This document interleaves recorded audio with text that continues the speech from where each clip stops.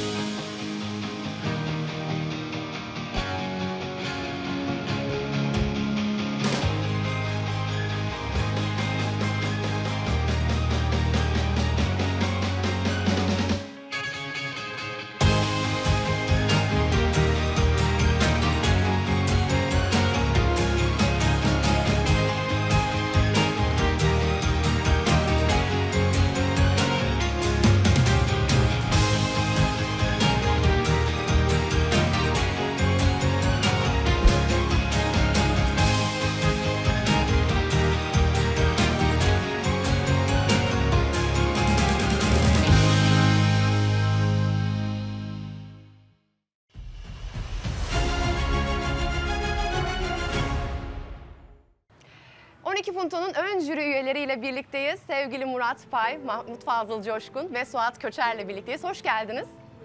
Nasılsınız? Çok yoğun bir tempo tabii ki. Doğru. Her şey yolunda mı? Epey epey yoğundu. Çok yoğun. 80 projeyi 12'ye indirmek de elbette çok yoğundur. Tabii merak ediyoruz bu süreç nasıl geçti sizin için değerlendirmeyi soracağım ama aslında bu yıl 6. yaşımızı kutluyoruz. Siz de içerisindesiniz, gelişimine de tanıklık ettiniz elbette. 12 Punto'nun sinema sektörü içerisindeki biraz yerini de değerlendirerek başlayalım mı? Ee, Murat Bey size baktık, sizinle başlayabiliriz.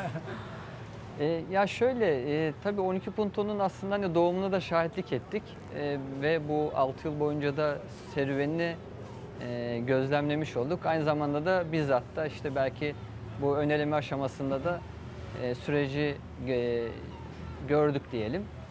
E, hani yavaş yavaş büyüyen, gelişen e, ve sektöre aslında çok e, müspet katkılar yapan, e, belki en önemlisi aslında somut, pratik e, film çalışmalarının ortaya çıkmasına vesile olan bir zemin.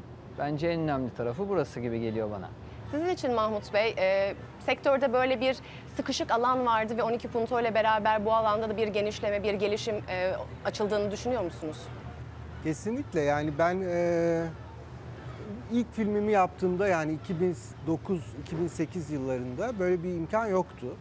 Ve eksikliğini açıkçası hisset, hissediyoruz, hissediyordum ve bir böyle bir platformun hani TRT tarafından e, yapılıyor olması bence çok çok önemli ve büyük bir eksiklikti. Ve e, 12 Punto da ben de e, doğumuna şahit olmuş bir yönetmen olarak 6 yılda çok büyük. Ben hatta e, o 6 yıl olduğunu duyunca biraz şaşırdım. Çünkü daha sanki eskiymiş gibi hatırlıyorum.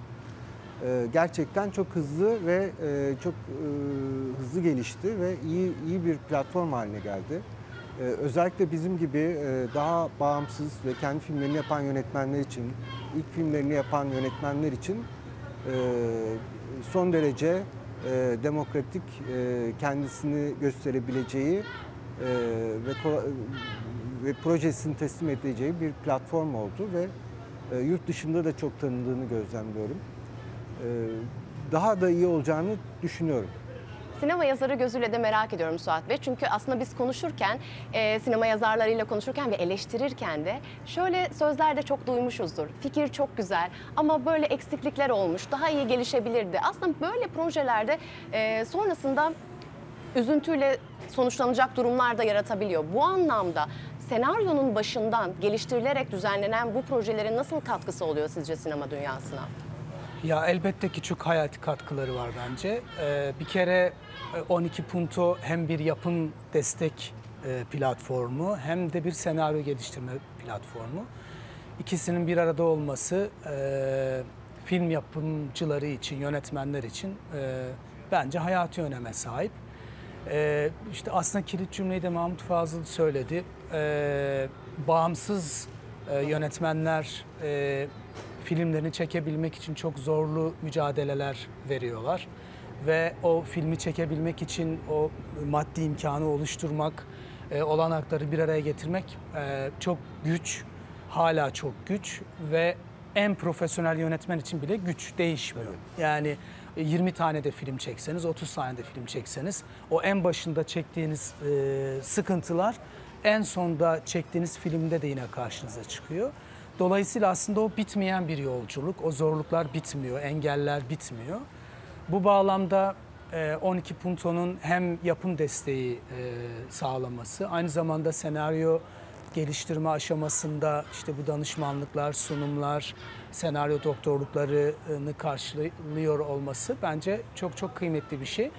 E, yönetmenler ve yapımcılar bir taraftan filmlerini çekebilmek için buradan e, maddi e, olanaklar e, kazanıyorlar, ediniyorlar. Ama bir taraftan da e, senaryo doktorları ve danışmanları üzerinden projelerini e, geliştirebiliyorlar. Kendi kusurlarını, eksikliklerini görebiliyorlar veyahut projenin daha iyi gelişebilmesi için dışarıdan profesyonel bir gözün e, bakışıyla e, olgunlaştırıyorlar projelerini. Bu yönüyle bence çok e, değerli bir e, ortam 12 punto. Film bittikten sonra değiştiremiyoruz çünkü aslında en başından bazı aksaklıkları değiştirerek ilerlemek ve planlı bir şekilde gitmek elbette çok faydalı. Murat Bay geçen sene de orada oturuyordunuz ama daha farklıydı. O zaman yarışmacı olarak vardınız. E, Şimdi nasıl bir süreç sizin için? Daha e, farklı bir gözle izliyor musunuz? Evet biraz tabii e, o zaman çok daha işin e, ne derler hani sahneye çıkıp e, kendimizi ifade etmeye çalışıyorduk ama şimdi sahneye çıkacak projeleri değerlendirirken biraz mesafe koymuş olduk. Biraz uzağa e, çıkmış olduk.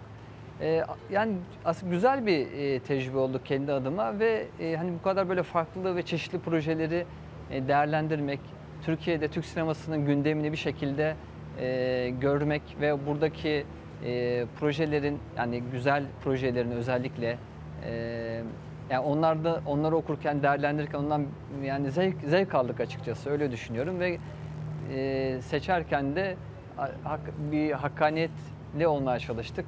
E, zor seçimler yaptık. E, yani Oy birliği mi, oy çokluğu mu oldu? Nasıl ilerledi?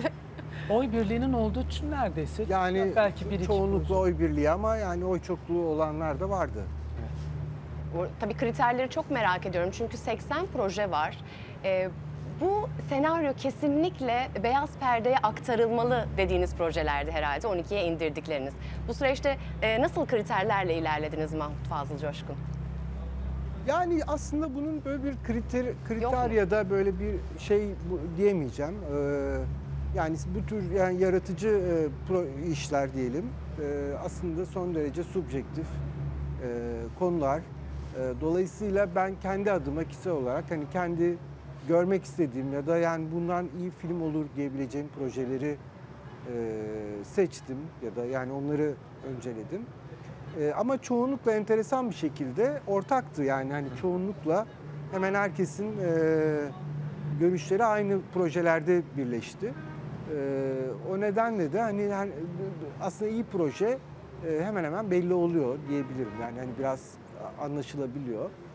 E, çok zorlanmadık ama çok da uzun sürdü bizim toplantımız. Yani bir- epeyce bir 6-7 saat 6-7 kadar saat. Ee, Çünkü gerçekten biraz adalet duygusuyla da yaklaşmanız gerekiyor. Yani o zor bir şey yani çünkü bütün başvurular çok büyük emekle e, yapılıyor. E, kendim de böyle süreçlerden çok geçtiğim için biliyorum. O nedenle biz e, oldukça hassas davrandık e, diye düşünüyorum. Bir de biz e, gösterime giren filmlere baktığımızda aslında tür olarak da benzer konuların birbirine çok denk geldiği yıllar da olmuştur. Yani hep aynı konuları izliyoruz dediğimiz zamanlardan da geçmişizdir. Bu anlamda ben başvuru yapan senaryoları da merak ediyorum. Yine e, ortak konular var mıydı? Elbette bizim geçirdiğimiz de bir pandemi süreci var. Aslında bu pandemi sürecinin e, sinema dünyasına, hayatımızda nasıl yer bulacağını da biz o dönemde çok merak etmiştik. Bu anlamda onun da etkilerini gördünüz mü? Ya da çok çeşitli türler var mıydı yoksa yine ortak türlerden bahsedebilir miyiz? Ya, e, ya arkadaşlar ne söyler bilmiyorum ama bence bir, bir tür laboratuvar gibiydi benim açımdan. Yani bu 80 proje çünkü bu 80 proje içerisinde Türkiye'de e, iyi işlere imza atmış pek çok arkadaşımız vardı, sinemacılar vardı ve e, onun dışında e, başka iyi projelerin parçası olmuş, içinde bul- bulunmuş ama ilk projelerini yapacak olan arkadaşlar da vardı. Aslında o 80 projeyi okumak bir bakıma biraz 2-3 yıllık Türk sinemasını okumak gibi bir anlama da e, geliyor. Çünkü e, bu projeler ister TRT'den destek alsınlar, ister bakanlıktan veya diğer fonlardan bir şekilde e, önümüzdeki 2-3 yıl içinde göreceğimiz projeler bunlar. Dolayısıyla biz 2-3 yıllık bir zaman dilimini görmüş olduk. E, Bence bu çok önemli. İkincisi de e, bu projeler içinde e, yer alan bir takım temalar, eğilimler, e, yaklaşımlar e, bize e, çoğunlukla genç kuşak sinemacıların aslında bir bakıma dünyaya, olan bitene, hayata, şu anki mevcut konjonktüre nasıl baktıklarını da aslında vermiş oldu diye düşünüyorum. Ben kendi adıma hatırladığım genelde yurt dışından ülkelerine geri gelenlerin hikayesinde bir çoğunluk, yoğunluk vardı diye hatırlıyorum. Yani işte bir müzisyen yıllar sonra geri geliyor, işte bir öğretmen yıllar sonra geri geliyor, bir iş adamı yıllar sonra geri geliyor filan. E, Bu geri dönüş hikayeleri e, çok uzun süre, yani son 10-15 yıldır aslında Türk sinemasında çok yoğunluklu var zaten. Bunlar daha çok e, büyük kentlerden taşraya gidişi anlatan geri dönüşlerdi. Ama benim okuduğum bu 80 proje iç- içindeki projelerden öne çıkan tema yurt dışından memlekete geri dönme, Türkiye'ye geri dönme hikayeleriydi. O, o yönüyle bir ilginç geldi bana. Ee, o orada biraz öbeklenmişti hikayeler. Onun dışında kadınla ilgili bazı m, hikayelerin e, öbeklendiğini kendi adıma fark ettim. Ee, yani sadece bu şeye 12 em, finale kalanlar değil, diğer okuduğum 80 projeyi kastediyorum. Çocuklarla ilgili olanlar vardı mesela bir miktar. Ee, belki bir 5-6 konudan bahsedebiliriz yani 5-6 ko- 5-6 konuya yoğunlaşan hikayelerden bahsedebiliriz. Ama benim en çok e, hatırladığım, hafızamda yer edinen e, yurt dışından Türkiye'ye dönüş hikayelerinde ben bir artış gözlemledim kendi Yine aslında adıma. bakacak olursak e, geçen senelerde olduğu gibi yine benzer dertler var ve benzer dertlerin anlatımı mevcut. Bu anlamda senaryoları okuduğunuz zaman ya da genel olarak sinemamıza baktığınız zaman biraz e, daha farklı çeşitlerin de sinema dünyasına girmesi gerektiğini de düşünüyor musunuz?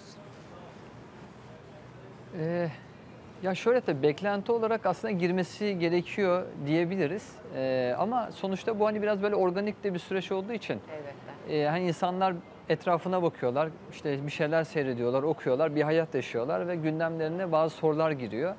Ve o soruları çözmeye çalışıyor. Bunun için de sinemayı tercih ediyor ve ona uygun da senaryolar yazıyor. Yani farklılaşması e, herhalde e, yani hani beklentimizle e, doğru orantılı e, böyle gelişecek bir şey değil gibi. Yani daha e, sürprizlere açık bir şey ama olabilir tabii ki yani bence mümkün. Genç yönetmenlere baktığımız zaman elbette herkes önce biraz kendi yaşadıklarından yola çıkarak, kendi hayat hikayelerinden yola çıkarak onların iz, iz- izini taşıyor daha çok anlattıkları. Ee, ilk e, senaryo yazan isimlere baktığınız zaman nasıl buluyorsunuz dili Mahmut Bey gelişim açısından? İlk yönetmenlik tecrübesi olacak. İlk senaryosunu yazmış bir isim gençler anlamında. Başarılı buluyor musunuz? Yani açıkçası tabii başarılı olan çok ilginç senaryolar da var ama tabii e, yeterli görmediklerimiz de var. Çünkü böyle bir kriteri yok. Yani hani herkes başvurabiliyor benim bildiğim kadarıyla 12 puntoya. Dolayısıyla e, çok iyileri vardı ki biz seçtik. Yani ben şu an tam rakamları bilmiyorum. Kaç tanesi ilk filmdi, kaç tanesi Ben de çok net hatırlayamıyorum Ee, ama- ama, epey vardı diye. var diye Evet. biliyorum. Üçte bir Ee, çok çok e, iyi ilk filmler var. Yani ilk film çok e, her yönetmen için çok aslında belirleyici olabiliyor. Yani çok önemli bir şey. Ee, çünkü yani aslında uzun zaman onunla vakit geçiriyor. Yani bir bir e, yönetmen adayı diyelim ilk film yapmadan önce e, aslında epeyce bir zaman e, senaryo, öykü ve bunlarla vakit geçiriyor. Bu muhtemelen e, otobiyografik de olabilir, e, olmayabilir ama e, dolayısıyla o aslında bir ilk filmde e, o, o bir parlak ışık var mı yok mu onu anlayabiliyoruz çoğunlukla diyelim. E, Şimdi tabii ki siz onları çok daha iyi anlayacaksınızdır. Genellikle senaryo danışmanlığı noktasında tabii seçilen projelerde e, çok fazla değiştirmek istiyorlar ama değiştirmek de istemiyorlar. O noktada neler söylersiniz onlar için? Ama sonra film ortaya çıktığında biraz daha sadeleşme de bekleniyor. Aslında bu süreç de onun için çok önemli. E, o yüzden nasıl bir tavsiyede bulunursunuz gençler için bu süreçte? Bana mı sordunuz? Size, sizin de sizinle de cevap alabilirim. Murat, Murat Bey'den de alabilirim. Mahmut abi siz Estağfurullah.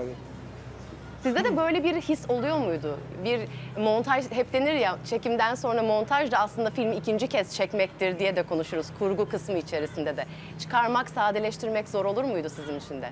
Ee, ben kişisel olarak çok zorlanmadım. Yani hani ben açıkçası e, o kadar şey e, yani o kadar zor ama tabii bunu çok önemseyen ve yani dokundurtmayan e, yönetmenler de var. Onlara da çok saygı duyuyorum. Hiçbir şey demiyorum ama e, ben açıkçası görüş almanın çok önemli olduğunu düşünüyorum. Yani hani bu tabii doğru isimlerden doğru ya da yani illa bu bu isim çok e, önemli birisi olmayabilir. Yani hani güvendiği diyelim e, insanlarla e, gö- görüşmesi çok iyi olabilir. Tabii bu artık yani günümüzde e, biraz daha profesyonelleşti. İşte e, senaryo doktorluğu gibi ya da hani daha böyle e, kurumsallaştı diyelim.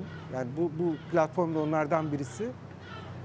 Ee, yani ben mesela daha önce katıldığım, bu 12 Punto'ya da katıldım. İşte Saraybosna'daki e, ismini hatırlamıyorum, Sinelink, e, işte Rotterdam'da katıldım. Hepsinden de çok faydalandım açıkçası. Yani bana çok e, iyi gelmişti o o, o şeyler, e, toplantılar, seminerler ve veya ne bileyim birebir senaryo doktorlarıyla çalışmak. E, ama dediğim gibi yani kişiden kişiye değişebilecek e, durumlar bu. Yakın zamanda Murat Pay'ın zaten çok ciddi tecrübeleri vardı. Mesela senaryo üzerine konuştuğunuz zaman sizin için de bambaşka bir pencere açmış mıydı? Tabii e, yani muhakkak ama az önceki e, sorduğunuzla ilgili aklıma şu geldi. Şimdi tabii ilk başta e, özellikle ilk filmlerde yani yazılanlara karşı çok büyük bir ilgi ve alaka oluyor. Çok onunla yoğruluyor, onunla dünyasını hemdem ediyor. Dolayısıyla oradan çıkmak istemiyor çok fazla. Ama bu zemin Mahmut abinin söylediği gibi bu tarz zeminler biraz mesafe koyma imkanı e, veriyor insana. Yani yani benim açımdan da öyle olmuştu. Dolayısıyla çok içine giriyorsunuz ama e, farklı insanlar ona bakmaya başlayınca e, biraz mesafeli olmak zorunda kalıyorsunuz ister istemez. Dolayısıyla düşünmeye başlıyorsunuz. Dolayısıyla bu aslında senaryo üzerine düşünmek, senaryoyu daha iyileştirmek gibi bir kapıyı aralamış oluyor. O, o- açıdan da çok önemli. Suat Köçer biraz önce dediniz ki e, aslında biz önümüzdeki dönemde sinemamızda izleyeceğimiz filmleri görmüş oluyoruz. Aslında ins- e, psikolojimizi de görmüş oluyoruz. Bu anlamda e, distopyalar da görüyoruz, ütopyalar da görüyoruz, farklı farklı yaklaşımlar görüyoruz. Daha umutlu mu e, yönetmenlerimiz hayata karşı yoksa dertler daha çok birikmiş mi? Nasıl okudunuz? Dertler derya olmuş. Tabii. Tabii çok dert var. Ee, sinemacıların kendilerine e, hikaye olarak tercih ettikleri. Ama umut hikayeleri de vardı. Ee, belki aslında bir bakıma Türkiye'nin fotoğrafı gibiydi. Hem umutsuzluk vardı, hem umut vardı, hem dert vardı, hem sabır vardı, tevekkül vardı. isyanlar da vardı, eleştiriler de vardı. Yani işte ekonomik şartlara, bir takım e, işte belli başlı sosyolojik problemlere yönelik e, itirazların kimi zaman çok belirgin, kimi zaman işte bir takım karakterlere ve diyaloglara e, daha profesyonelce dağıtılmış, yerleştirilmiş e, eleştiriler vardı ama e, umut da vardı. E, bu bir bakıma aslında bir ülkenin özeti. Her her renkten, e, her yaklaşımdan, her duygudan e, pek çok şey okuduk. Ama benim mutlu eden, kendi adıma mutlu eden şey şuydu. E, ben e, hikayeler ölçeğinde e, bu kadar çok değerli toplu hikaye çok e, göreceğimi tahmin etmiyordum. Epey değerli toplu hikayeler vardı.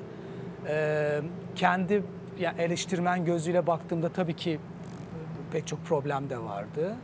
Ama genel planda ben e, biraz daha vaziyetin iyi olduğunu, e, iyimser olduğunu söyleyebilirim kendi adıma hikayeler nezdinde. E, ve umarım e, burada destek al- alanlar olacak var e, olacak tabii ki ama olamayanlar veyahut buradaki desteğe başka destekler ekleyip filmini çekmek isteyen arkadaşlar için şunu ümit ediyorum. Bu rüyalarını gerçekleştirebilsinler. Bu eleştirilerini, e, cümlelerini, itirazlarını veyahut belki önerilerini e, kitlelere, kalabalıklara duyurabilsinler. Tabii bir de okurken siz senaryoları e, şunu da çok merak ediyorum. Etkilenme noktanızda fikir muhteşem bir fikir diye mi yaklaşıyorsunuz yoksa onun nasıl anlatıldığı, nasıl ifadelerle anlatıldığı da sizi çok etkileyebiliyor mu? Ee, Valla be- benim açımdan fikir çok önemli ama tabii yani nasıl anlatıldığı da çok önemli ama tabii yani e, senaryoda e, nasıl anlatıldığını çok yani aslında film ya bizim için e, son son hali. E, dolayısıyla baktığımız şey biraz da proje yani hani çünkü o projede yönetmen görüşü oluyor. Bu, bu, bu filmi nasıl yapacağına dair pek çok şey veri de koyuyor. Biz onları da okuyoruz ve bütün bunları birleştirip aslında biz met, metne değil yani hani o kafamızda oluşan az çok o filmin bitmiş halini eee, görmeye çalışıyoruz ve onu aslında ona onu eğer beğenirsek oluyor. Tabii fikir bence işin çok eee, başlangıç noktası, önemli bir kısmı ama çok küçük bir kısmı. Yani ondan sonrası bence çok daha zor ve önemli olan tarafı. Çok teşekkür ederiz katkılarınız için. Eklemek istedikleriniz varsa e, Teşekkür alabilirim. ederiz. Çok sağ olun. Güzel, heyecanlı bir serüven yine bizi bekliyor. İnşallah. Ben kendi adıma teşekkür etmek istiyorum TRT'ye. Ee, bu kadar önemli bir platformu sinemacılara armağan ettiği için ee, ve onlara her anlamda destek olduğu için, sırtlarını sıvazladığı için, e, yalnız bırakmadığı için çok teşekkür ediyorum. Elbette ki bu platforma e, katılanlar, finale kalanlar oldu, olmayanlar da oldu. Ama bence buna biraz da şöyle bakmak lazım. Her halükarda kazanan Türk sineması ee, ve bu yıl olmazsa belki bir, bir yıl sonra, iki yıl sonra yeniden bu platforma başka projeleriyle başvurabilecekler.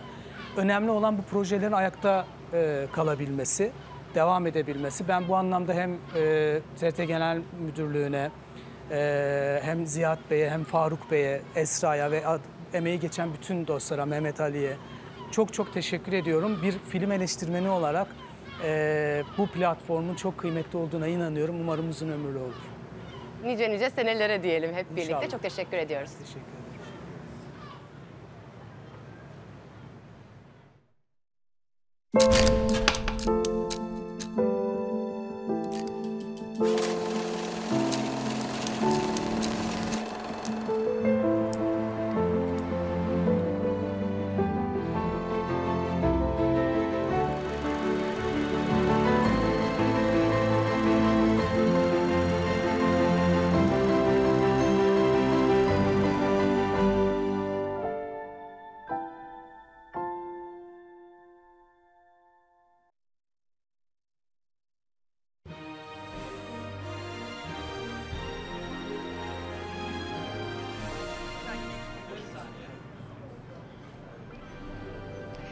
Projelerimizi konuşmaya başlıyoruz. Kör projesini ko- konuşacağız. Öncelikle Hakan Yunat ve Zeynep Koşar'la birlikteyiz. Hoş geldiniz. Bu yıl 6. senemizi kutluyoruz 12 Punto olarak. Yeni bir proje 12'ye seçildi. Ee, öncelikle duygularınızı merak ediyorum Hakan Bey. Nasılsınız? Heyecan var çok mı? iyiyiz, çok heyecanlıyız tabii. Burada olmak şahane bir şey. Yani böyle bir e, program içerisinde olmak eğitici olarak da her türlü çok güzel geçiyor, çok eğlenceli, çok öğretici. Sizin birlikteliğiniz nasıl gerçekleşti? Zeynep Hanım yönetmen yapımcı ilişkisi son derece önemlidir. Şöyle aslında, e, bu projenin gerçekleşme hikayesi de zaten çok enteresan. Hemen dinleyelim. İstiyorsanız oradan başlayayım. Tabii ki. E, aslında ben, benim bir menajerlik şirketim var. Ben bir menajerim. Aslında bir yapımcı değilim. E, fakat e, bizim bir oyuncumuz vardı Rıza Akın. E, ve Rıza abiyle, e, Rıza abiyle ben çok uzun süre çalıştım, 15 sene kadar. Rıza abi iki sene önce vefat etti. Allah rahmet eylesin. Evet. evet. Ee, bu proje onun 2016'da yazdığı bir projeydi. Ee, biz e, vefat etmeden bir sene önce e, de bu projeyi yapmaya çalışıyorduk. Fakat tabii 2022'de vefat ettikten sonra artık bu bize biraz başka bir duyguyla yapma isteği getirdi. Yani bu bize artık bir miras kaldı gibi bir şey oldu. O süreç içerisinde e, yola çıktık. Ee, ortak bir tanıdığımız var. Ee, Mustafa Karadeniz diye bu projeyi beraber işte bir hayata geçirme dileğimiz vardı ilk başta. O e, o vasıtayla da Hakan Bey'le tanıştık. Fakat ben Hakan Bey'le daha önce Zaten sektörden tanışıyoruz. sektörden tanışıyordum. Evet. Hatta Hakan Bey de o zaman e, başka bir film çekmişti. Orada da e, yine bir kör hikayesi vardı. Çok enteresan. Evet böyle Evet, de bir 2014'te. ortak e, durumu var. Daha sonra bu proje için bir araya geldik. Sonra bir e, yolculuk başladı. İşte 12 Bunto'ya başvurduk. Dün ilk e, işte tanışmalar, toplantılar yapıldı. Senaryo danışmanınızla tanıştınız. Evet, senaryo danışmanımız. Ondan önce de e, iki tane e, çok büyük yapımcı, e, koprodüks- koprodüksiyon yapan iki yapımcıyla tanıştık. Onlar da bize çok güzel danışmanlıklar verdiler, çok güzel fikirler verdiler. E, Şu anda böyle. Bizim için çok heyecanlı. Gerçekten çok heyecanlı. Evet. Ee, biraz pozitif ayrımcılık yapacağım ama e, yapımcılarımızın hepsi çok kıymetli ama kadın yapımcıları ben çok çok başarılı buluyorum.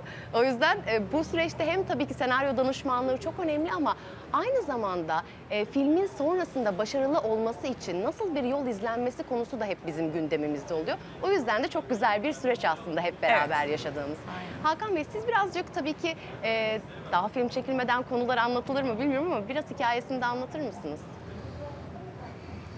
Çok güzel bir hikayesi var. Zaten beni çok heyecanlandıran kısmı oldu. Senaryo mükemmel. Allah rahmet eylesin. Ee, Rıza abi çok güzel kalem almış. Ee, onun sorumluluğu da var üstümüzde. Onun bir vasiyeti sonuçta bu. O yüzden duygusal önemi de çok fazla.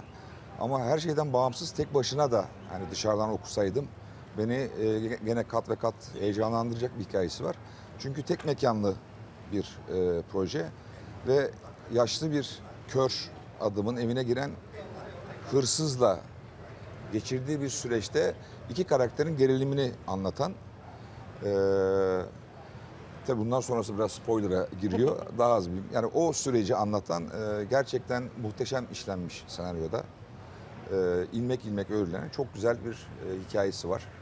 Şimdi Biraz da e, teknik olarak konuşacak olursak şimdi tek mekanda çekilen filmlerde de hep bir zorluk vardır.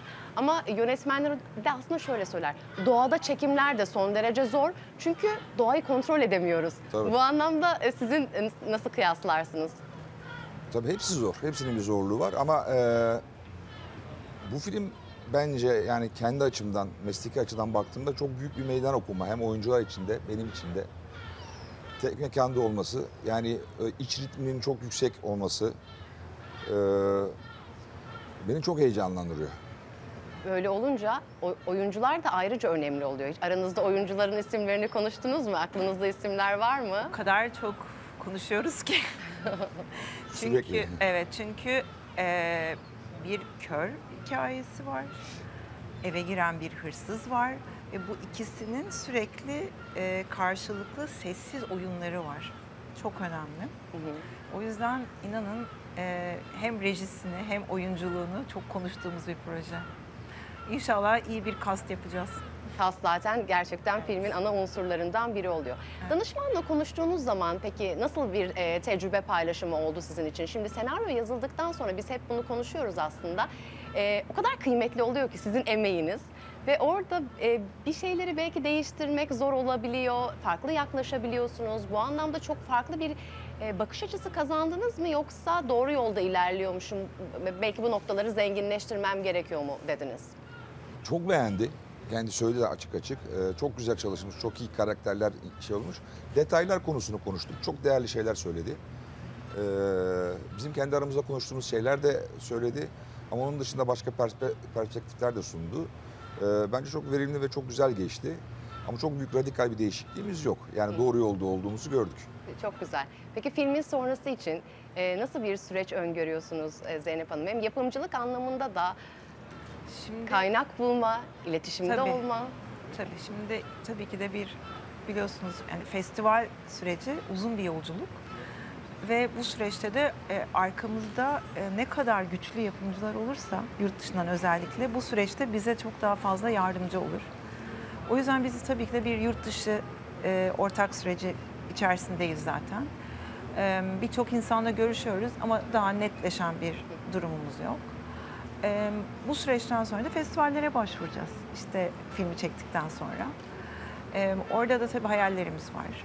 Ama Rıza abinin şöyle bir hayali var. Onu gerçekleştirmeyi çok istiyoruz. Rıza abi senelerce Adana Film Festivali'nde de danışmanlık yaptı. Yani filmimizin Adana Film Festivali'nde bir gösterimi olsun, Premierini yapsın belki. yapsın. Belki öyle bir şey çok isteriz. O da çok isterdi bunu biliyorum. O yüzden birazcık da hani böyle duygusal şeylerimiz de var tabii. Ama profesyonel olarak da tabii yurt dışındaki e, festivalleri hedefliyoruz. Tabii e, çok tecrübeli bir yönetmensiniz. Biraz da aslında e, yaşanılan zorlukları da belki gençler açısından da faydalı olacaktır. Şimdi yeni bir film, yeni bir heyecan elbette ama e, en büyük yaşanılan sıkıntı sektörümüzde nelerce sizin için tecrübeli bir isim olarak size sormak isterim. Yani sektörel bazda sınıf sınıf değişiyor. Yani sinema olarak baktığımızda salona çıkan, gişeye çıkan sinemalar filmleri ayrı. Televizyon için, platformlar için yapılan sinemalar, diziler farklı ve ana akım için farklı. Hepsinin kendi içinde zorlukları var. Ee, genel küresel anlamda zaten bir ekonomik sıkıntı var. Bunlar hepsi birbirini tetikleyen şeyler. Ee, tabii bunlar e, bazı şeyleri e, zorlaştırıyor ama e, işim gereği gençlerle çalışıyorum sürekli. Ee, o benim için ayrı bir motivasyon oluyor.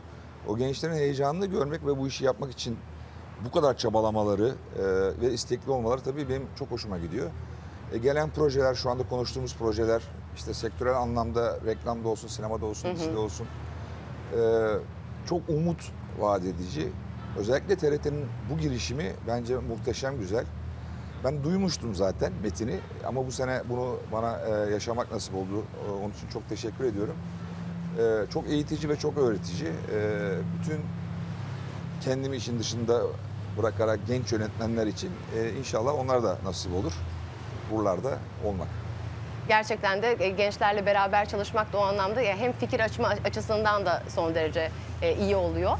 Ama e, hep biz söylüyoruz yapımcı yönetmen ilişkisinin de son derece önemli olduğunu. Bu anlamda da güzel bir yolculuğunuzun olmasını umuyoruz elbette. Bakalım nasıl bir süreç yaşanacak. Hep de hep şunu söylenir. Bir ortada bir proje vardır, ona hazırlanırsınız, yazarsınız ve sonrasında da onu izlersiniz. O an size neler hissettiriyor? Muhteşem bir şey. ne kadar zorsa o kadar muhteşem oluyor. Yani e, bittiğinde içinize sindiyse eğer e, onu izlemek, izlettirmek, onunla ilgili tepkiler almak e, muhteşem bir şey. Yani çok güzel. Nasıl kelimelerle ifade edebileceğimi bilemedim ama e, çok güzel. Senaryo yazım süreciniz ne kadar sürdü? Şimdi Rıza abi yazdı tabii onu. E, ne kadar sürdü? Rıza abi bunu 2016'da yazdı. Hatta senaryosunu biz hala muhafaza ediyoruz. Hiç Ee, değiştirmediniz mi? çok ufak değişiklikler yaptık. Ee, ama ana aksını bozmamaya çalıştık. Özellikle ona çok dikkat ettik. Ee, hala senaryonun altında e, Rıza abinin yazdığı saat bile duruyor yani. O kadar konuda titiziz. Ee, senaryoyu Rıza abi 2016'da çok kısa bir sürede yazdı. Kafasındaydı zaten. Ondan sonraki süreçte zaten bizim ona eklediklerimizde çok bir hani bu işin senaryo süreci oradan geldiği için aslında bizim çok fazla sadece üzerine koyduğumuz ufak katkılar oldu. Çok fazla bir senaryo e, harcadığımız bir zaman e, öyle bir şeyimiz olmadı. Sadece üzerine işte buraya böyle yapsak nasıl olur gibi ufak şeylerle. E, bir de şimdi tabii bugün yaptığımız e, senaryo danışmanlığı toplantısından sonra söylenen şeyler çok değerli. Onları da tabii ki değerlendirmemiz çok önemli. Elbette şimdi bir Adana'da premier ya da Adana'da özel gösterim hayalinden bahsettik filmin yapımından sonra. İnşallah. İnşallah. Yurt dışında böyle bir festival isteğiniz var mı? Var Çok tabii. istediğiniz bir festival. Hayallerimizden de bahsedelim ki gerçek olsun. Var. tabii ki de var. Ee, tabii ki de yurt dışı sürecini yani ben bugüne kadar bir yapımcı olarak festivale katılmadım ama birçok oyuncuyla çok festival gezdim. Hepsi birbirinden değerli. Hepsini çok sevdim. Ee, tabii ki de çok güzel yerlerde açılsın isterim. Ama kısmet. Bakalım. Biraz daha biraz daha temkinli yaklaştığınızı Evet, görüyorum. evet, Yolculuğu çok güzel olsun. Başarılar diliyoruz elbette. İnşallah. Dilerim ki gerçekleşsin. İnşallah. Çok İnşallah. teşekkür ederim. Çok teşekkürler. mersi.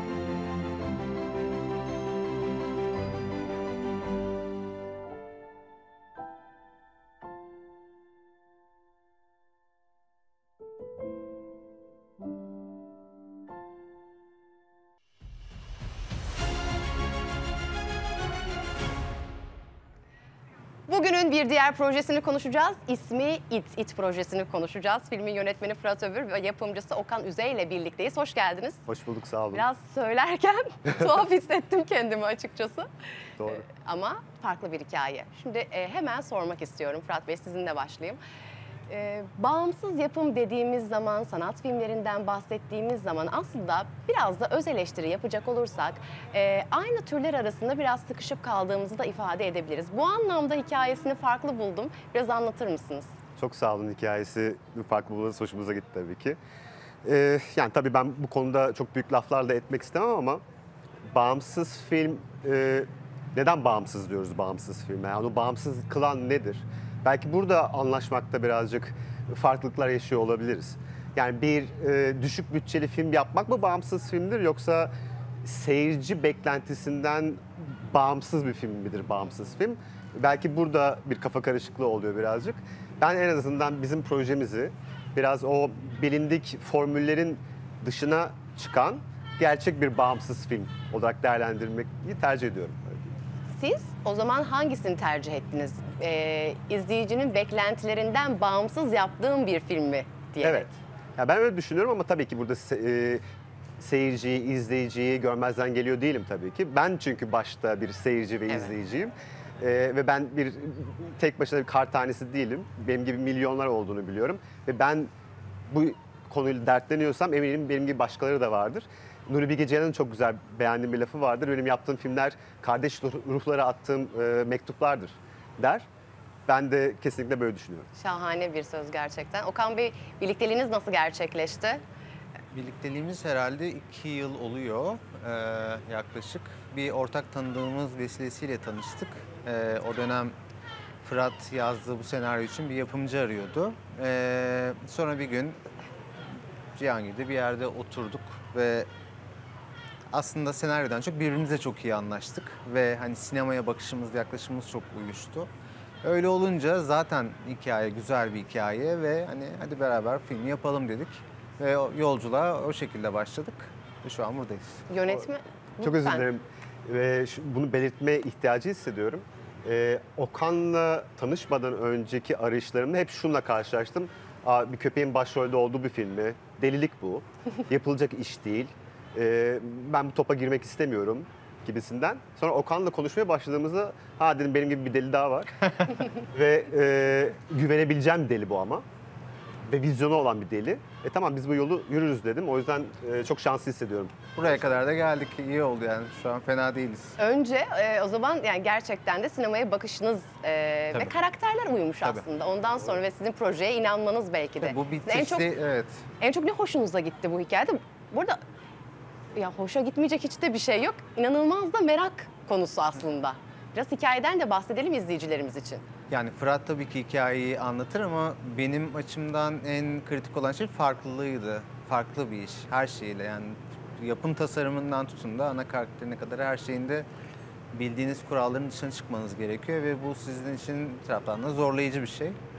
Ama yapılabilir olduğunu düşündüm ve en başta da konuştuk. Eğer bunu yapabilirsek o zaman ortaya çok iyi bir şey çıkacak. O yüzden o oradaki havuç birazcık biraz da beni ittiren şeylerden bir tanesi. Ee, ama güzel de bir hikayesi var. Belki Fırat birazcık bahsetmek Biz ister. kendi aramızda konuştuk ama hikayeyi de dinleyelim. E, bir kere çıkış noktası nasıl gerçekleşti sizin için bu fikir? Aslında çok eskiye dayanan bir yolculuk bu.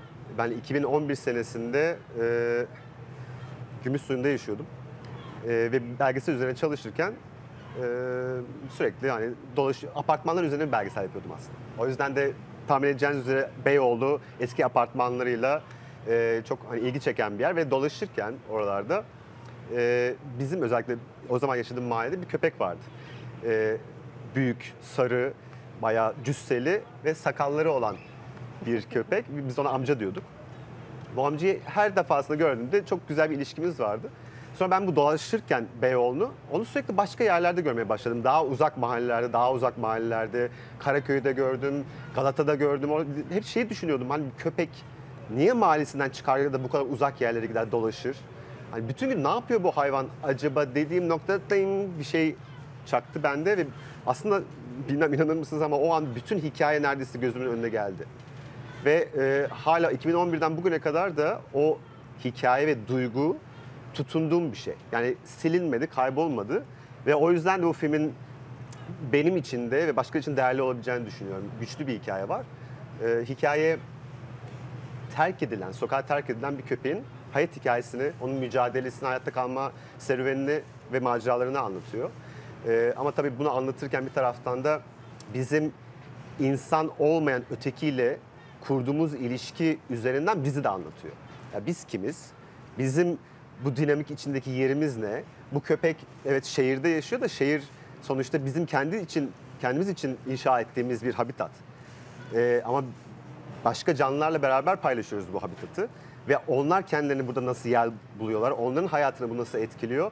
Bütün bunlar da filmin e, içinde var olan doneler. Aslında biz köpeğin hikayesini e, izlerken aslında bir aynayla da karşılaşmış olacağız. Bir aynalama da olacak bizim Aynen için. öyle. Ve bence izlerken çok kalbimizi acıtan noktalar da olacağını düşünüyorum. Bilmiyorum katılır mısınız? Gerçeklik bu tabii ki. Yani bu ben e, sonuçta bir e, gözyaşı dökülsün, ah acılar yaşayalım bu filmi izlerken gibi bir yerden girmek istemiyorum. O tür bir manipülasyon için yapmıyorum bu filmi ben.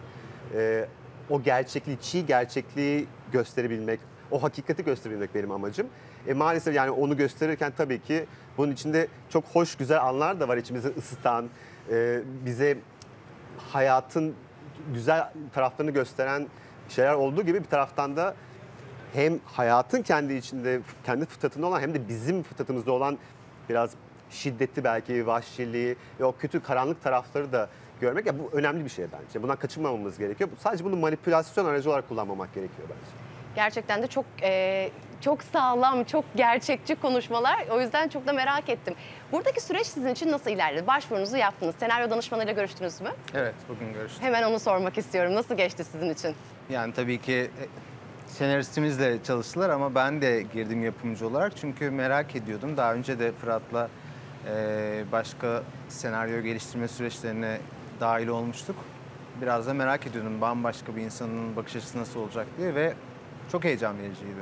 Yani benim beklentimin çok çok üstünde bir süreç geçti ve bayağı e, birbirimize baktık ve "Hmm, bir şeyler oluyor burada dedik birbirimize ve bizi çok motive etti aslında her şeyden önce çünkü aslında Fırat'ın yapmaya çalıştığı şeyi bu kadar derinden başka bir insanın görmesi, hissetmesi ve bunun üzerine konuşması harika bir deneyimdi bence. O yüzden mutluyuz ama tabii ki esas siz. Ben çok e, heyecanlandım, çok şevklendim. E, Okan'ın dediği gibi o senaryoyu önüne alıp da o özeni gösterip o e, özdeşleşmeyi yaşaması ya daha önce de dediği gibi başka deneyimlerimiz oldu açıkça söylemek gerekirse ve ben bugüne kadar onu hissetmedim. Ama oturup 3 saat konuştuk Mathieu ile. E, ve yani öyle şeyler söyledi ki bize, öyle kapılar açtı ki fikirsel olarak, senaryonun yapısı olarak ya benim düşündüğüm şeylerdi bunlar. Ya bu adam da düşünmüş ve o kadar güzel e, noktalar bize tespitler yaptı ki ben o konuştukça daha çok konuştuk. Hatta bir nokta dedik çok mu bağırıyoruz acaba insan rahatsız olacak. O kadar heyecanla yaptık yani. Giderek yükseliyor Çok tansiyonumuz. şevk verdi bize. İnanılmaz şevk verdi ki bu sinema yol sinema çok zor bir iş. Film yapmak zor bir iş. Bu anlar sizi biraz Evet. aslında e, götürüyor. Onlara ihtiyaç duyuyorsunuz yani. O yüzden benim için aşırı keyifli bir gündü. Ee, yapımcılığı da artık e, şöyle de söyleyebilir miyiz? Biraz daha eskiden e, doğaçlama ilerleyen süreçler vardı. Yapımcılıkta da, yönetmenlikte de, senaryo yazarken de fikrim var, filmini çekebilirim ama sonrası biraz hüsran da olabiliyordu. Aslında 12 Punto'nun varlığı, senaryonun yazım aşamasından başlaması, gelişmesi sonrasında filmim neden izlenmeli? Ben filmimi festivallere nasıl e, sokabilirim? Orada e, izleyiciyle daha çok nasıl buluşabilirim gibi sorulara da cevap arayan paneller de düzenliyoruz. E, yapımcılık anlamında siz nasıl yaklaşıyorsunuz? Bir yapımcı nasıl bir iyi yapımcı olabilir sizce? Ya da burada en çok neyi merak ediyorsunuz? Yani 12 punto üzerinde söylersem ya tabii ki yapımcılık kariyerinizde bu tür platformlara yurt içinde yurt dışına girip çıkıyorsunuz. Ee, burada bence en kıymetli olan şey özellikle bir ilk film yapıyorsanız paha biçilemez bir e, networking ortamı e, var burada. Ee, benim açımdan kıymetli olan şey burada aslında gene networking diyebilirim. Çünkü evet yani sizin buraya getirilen insanlar bir seçilen insanlar oluyor. Çünkü o insanlar bir kere Türk sinemasına ilgi duyuyorlar. Yani buraya gelmesinin bir sebebi var. Sizin Paris'e gidip ya da ne bileyim Cannes'a gidip orada ortak yapımcı aramanızla ya da bir dağıtımcı aramanızla burada konuşmanız aynı şey değil. Çünkü onlar nerede olduklarının farkındalar. Dolayısıyla zaten filtreye geçmiş oluyorsunuz. O yüzden daha önce de burada olan bir projem vardı. Onda da buna yakından şahit oldum. 12 Punto'nun kesinlikle Türkiye'deki film yapımcılar için özellikle bağımsız film yapımcılar için çok kritik bir rolü var diyebilirim. Bu özellikle Avrupa'daki kritik bir takım insanlara, bunlar dağıtımcı olabilirler, yapımcı olabilir, bunlara ulaşması bakımından eee, bunun üzerine çok fazla şey söylenebilir sürece dair. Çünkü bunun içinde senaryo var, bunun içinde eee, farklı farklı paneller var. Yani nasıl filminizi pazarlarsınızdan tutun da işte Evet. filminizi nasıl yurt dışı finansmanı bulursunuz da kadar. Ve hatta Eee, dağıtım da son derece önemli. Evet, aynen. Dolayısıyla sizin bir yapımcı olarak eee, buradaki bütün dinamikler içinize taşımanız gerekiyor. Eee, ama burada eksik olan kaslarınızı geliştirebileceğiniz bir imkan sağlıyor 12 Punto. Bakımından da çok çok kıymetli. İlk film e, izleyiciyle buluşacak. Nasıl hayal kuruyorsunuz? Önce mesela dünya premierini nerede yapmak istersiniz? E, ilk gösterimini nerede gerçekleştirmek istersiniz? Ve o film çıktıktan sonra siz bir şey anlatmak istiyorsunuz ama artık bize geçiyor. Doğru. Biz izlersek biz e, neyi nasıl anlıyoruz, nasıl hissediyoruz biraz da onunla ilgili. Nasıl bir cümle e, duymak isterdiniz izleyicilerden? Aa. Ee, aslında daha önce duymadığım bir cümle duymak isterim. Yani şunu demek istiyorum. Benim düşünmediğim bir şeyi seyirci bana geri söylese çok hoşuma gider gerçekten. Ee, Birçok film mesajı belli bir şekilde yapılıyor ve bazı noktalarda çok didaktik bir noktaya gelebiliyor. Ee, yani mesajın belli, onun karşı tarafa nasıl geçeceği belli, karşı tarafın ondan ne alacağı belli. Ama benim için bir film aslında her şeyden önce bir potansiyel. Yani tabii ki biz belli bir çerçeve içinde, belli bir hikaye doğrultusunda e, bir şeyler sunuyoruz.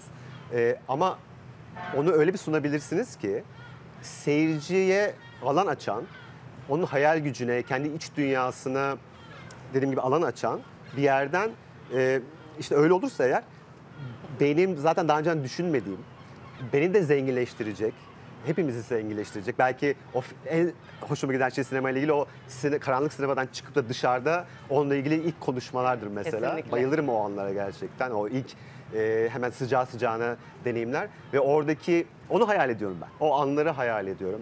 O insanların mesela soru cevap olursa e, orada soracakları sorular, tepkileri ben bu yüzden film yapıyorum. Yani ben insanlara bir düşünecek, onları başka bir şekilde hayatta düşündürtecek filmler yapmak istiyorum. Hani bir ana yol var orada yürüyoruz ama bakın arkadaşlar şurada bir patika da var. Hiç buradan daha önce yürümemiştik. Acaba ne var orada? Hep beraber gelin o patikadan yürüyelim ve onlar da benim görmediğim şeyler keşfedecekler ve başka orada bir dünyalar açılacak belki. Ee, benim için sinemanın güzelliği burada. Çok teşekkür ediyoruz katkılarınız için. Sevgili seyirciler bugün 12 Punto'ya güzel bir başlangıç yaptık. Biz sinemayı konuşmaya devam edeceğiz. Hoşçakalın.